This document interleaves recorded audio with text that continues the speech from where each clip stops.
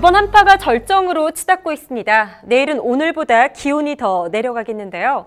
내일 아침 철원은 영하 20도, 서울은 영하 13도까지 떨어지는 등 이번 겨울 들어 가장 추울 것으로 예상됩니다. 이달 들어 서해안은 눈이 자주 내리고 있는데요. 앞으로 충남 서해안과 호남 서해안 지역엔 최고 5cm, 그 밖에 호남 지역에도 1cm 안팎의 눈이 더 내리겠습니다. 내일 서울, 경기와 충청 지역은 맑겠지만 찬바람이 강하게 불겠습니다. 강원도는 영하 20도 안팎의 한파가 기승을 부리겠는데요. 수도 간 동파 사고 나지 않도록 대비 잘하셔야겠습니다. 영남 지역은 한낮에 기온이 영상으로 올라서겠지만 찬바람의 체감 온도는 더 낮겠습니다. 호남 지역은 모처럼 맑은 날씨 예상되지만 오늘보다는 더 춥겠습니다. 바다의 물결은 동해상에서 최고 6m로 거세게 일겠습니다.